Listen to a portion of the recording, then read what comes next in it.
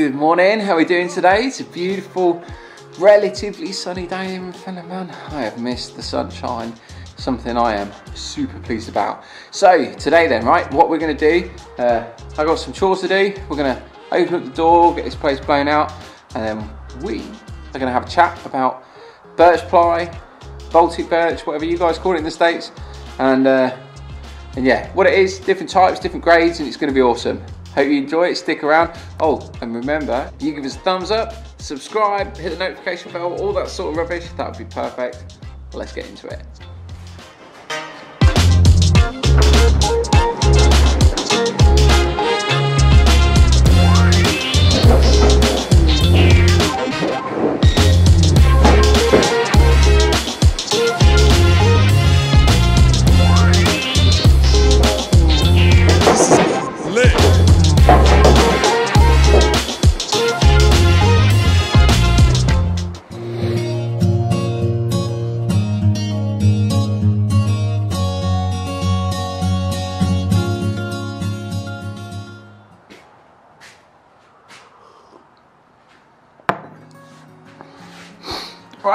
We'll get into this then, shall we? So,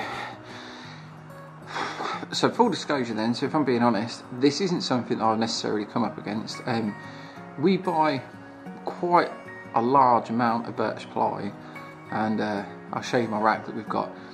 We do a huge amount of like template cutting, we uh, order the sheets in, we do, so we'll cut like a thousand units for a client, or we build like birch ply furniture, and um, so we do a fair amount of work with it and I've never had the issue where I've come up against having it having to call it Baltic birch or Russian birch and all this sort of stuff and I never really fully understood and I'd have a conversation with a few guys on Facebook and that about the difference and so what I did was I had a quick Google and uh, and yeah the stuff that you guys are referring to as um, as birch ply and then you have your Baltic birch ply.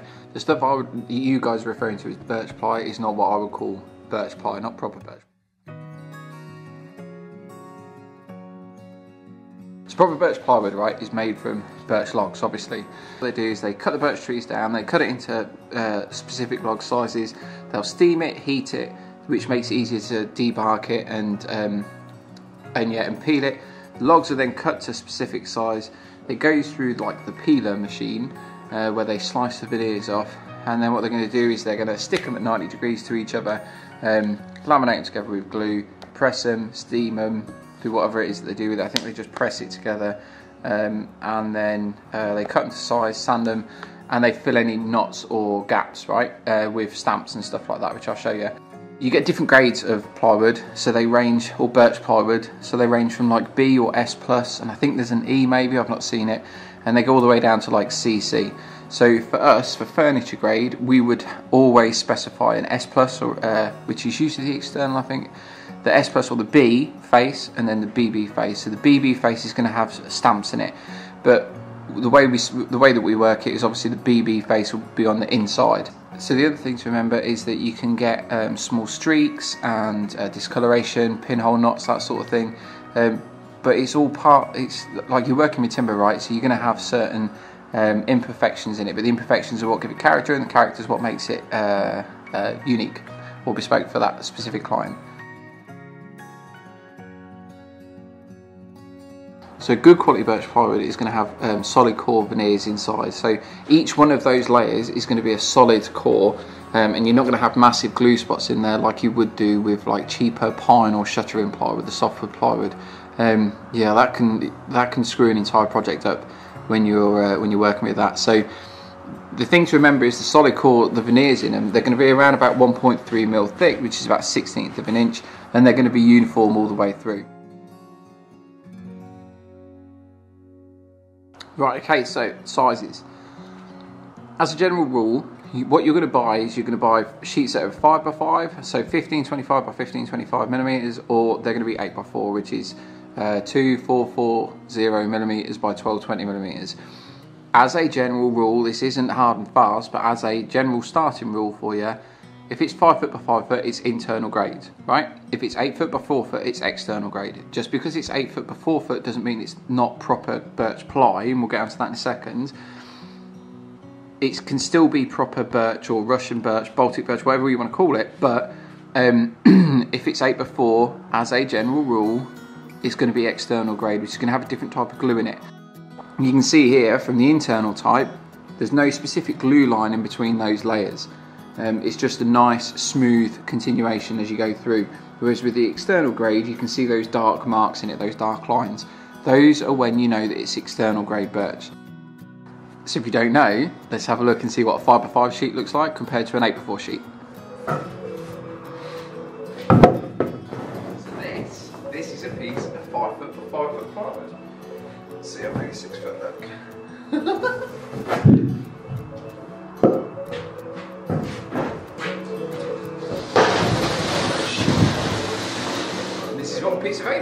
foot by 4 foot looks like. The more astute of you who are watching will notice that this isn't plywood, this is a piece of MDF, but all my 8 foot by 4 foot plywood is under other plywood and under other stuff, and it's, uh, I'm not getting out, it's way too heavy and I can't go up, it's a Saturday morning. But yeah, 8 foot by 4 foot.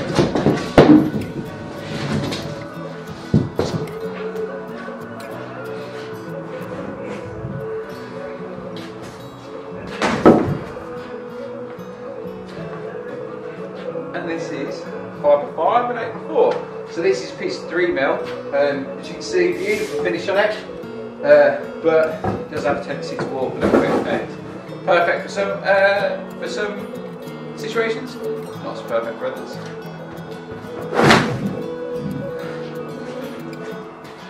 And again, I know I keep saying it, but as a general rule, 5x5 is internal, 8x4 is external. Um, you can get Russian and Baltic, however you want to call it, proper birch plywood in 8x4 sheets, but the chances are it's going to be external grain. You can have a bit of a, a different glue line. Personally, I prefer the external stuff. I think it gives it more of a pop when we're making birch ply furniture on the edge grain, but that's just me.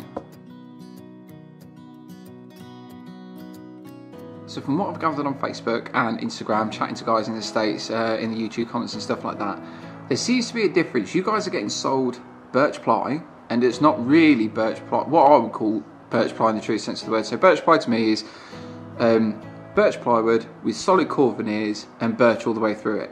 I feel what you're getting sold is birched faced plywood. So it's birch faced, birch faced plywood with a pine core from what I can see. So I went and had a look at Lowe's uh, online and I typed in birch ply and they do two types. They had a four foot by two foot piece that was birch plywood, that was like your Baltic birch. And then what they had was they had a, uh, I think it was an 8 by 4 sheet and it was, it's called birch ply half inch. But what it was, was it was um, birch faced pine core plywood. So it had a birch face veneer, which is the really, really, really thin veneer on the top of it, with a pine core in the centre, and then a birch base on the bottom. That's cheeky, if I'm being honest with you. That's not what I would call birch plywood, but that's me over here. So the easiest way to check, right, is to have a look at the veneers, uh, or the cores on the plywood. If you've got an 18 mil piece of plywood and there's like 11 veneers in there, then, um, and they're all uniform thickness, then you can pretty much guarantee that it's going to be proper birch.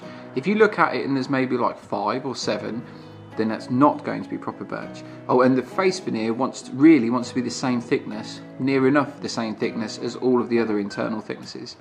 As a rule of thumb, if it's lightweight or has really thick cores in it, so like I said, like five or seven of them, it's not going to be birch ply. If it's real heavyweight, you know, a lot of heft in there, then that's going to be proper birch plywood. Don't always trust the description.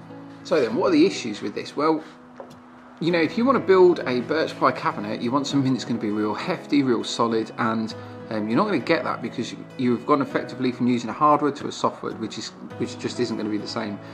Um, your screws and fixings aren't going to be pulled into it enough, um, like you would do with birch ply. There's not going to be enough bite in there.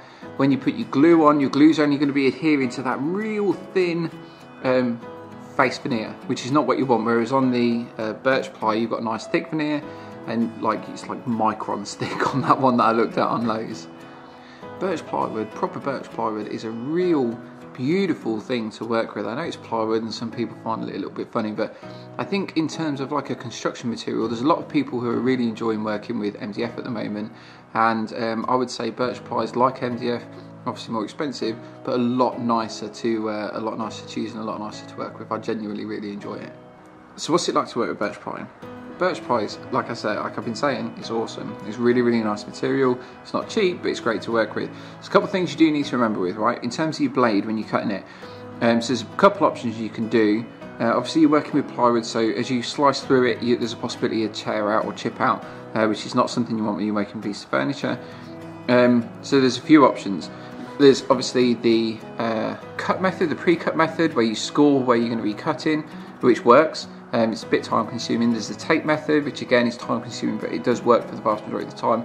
The final method, which is what we do, is we have a um, real good quality blades you need. What you need is you want um, a high tooth count and a specific type of grind. Now you can go for like a 60 or a 64 and you're gonna get, and you want it to get like an ATB, which is an alternate top bevel, I think so, um, grind which is which will work. It's not perfect, but it's going to work. Now you're going to have to do a couple of other things with it. Um, you, you, know, ideally, you want a zero clearance insert for your table saw, and if you're cross cutting, uh, you want to use a table saw sled. Um, I know some people think they're real dangerous, but the tools are really dangerous if you play around with them, right? So yes, so you can get yourself a, a 60 tooth um, ATB blade. You, you can also find like um, 80 teeth uh, TCG triple chip grind blades, I think they're called. Um, and again, they work really well.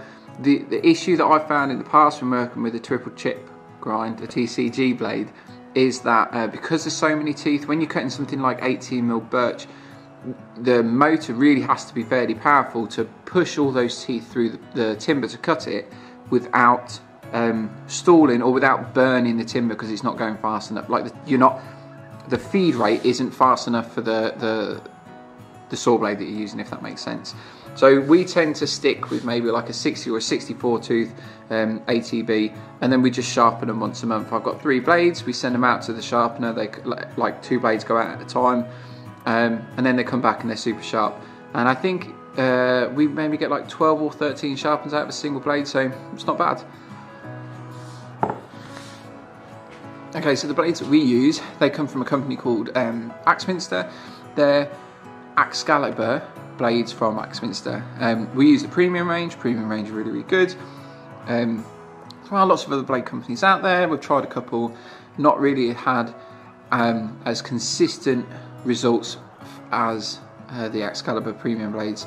Um, and for us, consistency is the key, right? If we consistently know how a board's going to turn out, we can understand how that's going to work for us in terms of project, uh, making money, and the time it's going to take. Obviously, the when you're building something, your finishing time generally is can take as much as, if not longer, than the construction time for the cabinet or whatever it is you're doing. So cutting down on finishing time for us is a huge one. Okay, so another thing to remember is uh, stains. When you're trying to stain or finish your timber, there's a couple of things you need to be aware of. Um, as a rule, general rule of thumb, water-based stains work best. Um, gel stains are pretty good. Oils oil-based are not great, if I'm honest. And I know that's a you guys in the States, you love your oil-based stuff. It's not something that's really pushed over here, especially with uh, the European regulations and stuff like that. There's a huge push to go to water-based stuff. And if I'm honest, in terms of birch ply, the water-based is the better option. For our water-based stains, we use, stains, we use a company called Fiddes. Fiddes do some really, really good stuff. And for our oil-based work, um, we use a company called Treatex, who you might have heard me talk about before. They're amazing. You should definitely go check them out. Okay, in terms of like clear coating, there's a few options. Obviously, normally you've got your normal based, um, oil based polyurethane, your water based polyurethane, and like a wax or a hard wax oil, something like Treatex, or I know some people some people use Osmo. Um, I prefer Treatex, but yeah. So these those are the three, or or you can use lacquer, right? Spray lacquer. Because the timber's so white, when you're finishing it, you want to use, um, if you want to try and use a water-based finish, like a water-based poly, or you can go for an oil-based finish if it has like a whitening pigment in it. So the Treatex hard wax, or they do a natural one that we use that has a white pigment in it, um, and that helps to keep the whiter uh, finish on the birch plywood, which is perfect. And the last thing to remember is when you're using filler, when you look for filler, you want to try for something that's got a natural finish and not a coloured finish. Um, I'm not going to tell you which filler we use because it took me forever to find it, but um, yeah, you want to look for a natural finish filler, and it's got to be stainable and sandable if you're going to be staining the product at the end, okay? Right then, so we'll wrap this one up. So just remember those key points we talked about. So if it's five foot by five foot, it's internal grade. If it's eight foot by four foot, it's external grade, general rule of thumb. Um, if uh, you want to be checking the cores if they're like 16th of an inch, 1.3 mil thick, and you've got maybe 11 of them on an 18 mil, uh, 11, 13, something like that. You've got proper birch plywood. If you've got like five really thick cores and a teeny, weeny, weeny hair thin face veneer, um, then that's not proper birch ply, and you want to avoid that if that's what you're after. Uh, if you're staining it, you want to use some water-based or gel-based stains, and if you're finishing it, try and you, and you want to keep that white color, then you probably want to use a water-based finish or an oil-based finish with a white pigment in it. Cool, I hope you enjoyed the video. I hope that uh, helped a bunch of you, and um, you'll have an awesome day, and we'll catch you next time. Hey, if there's anything you want me to talk about, anything you want info on, uh, if you want me to review, check out, look at, whack it down in the comments. If you could give us a like, subscribe, really helps me out, lets you know that we're doing right, and um, you'll have an awesome day, and I'll catch you next time, okay? Check out that blue sky, man. That is a thing of beauty. I can't believe it's double figures today. God, long way this continue. I feel like uh, I get home, do some gardening, I might even get the barbecue out, eh? Perfect.